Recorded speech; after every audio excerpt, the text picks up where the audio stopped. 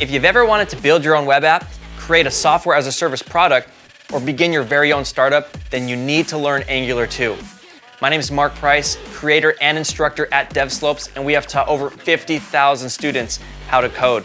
I've asked our senior web developer, Jess Rascal, to teach this course on Angular 2, which we use every single day on our own websites. And unlike other courses, which teach you outdated and broken versions of Angular 2, we actually teach you the final release version, so everything is up to date.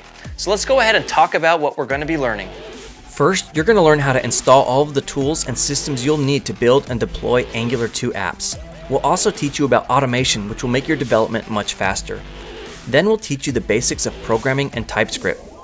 After that, you'll build some simple apps that teach you the basics of Angular 2, like components, templates, and styles. You'll then move on to more advanced topics like routing, directives, and forms.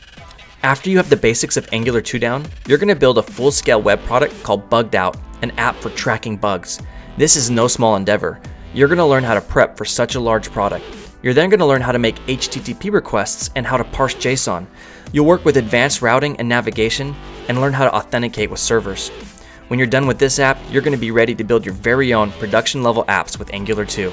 This course is designed for absolute beginners. All you need to know is some basic HTML and CSS. So if you want to build fully functional web apps and take your skills to the next level, then enroll now and I'll see you in class.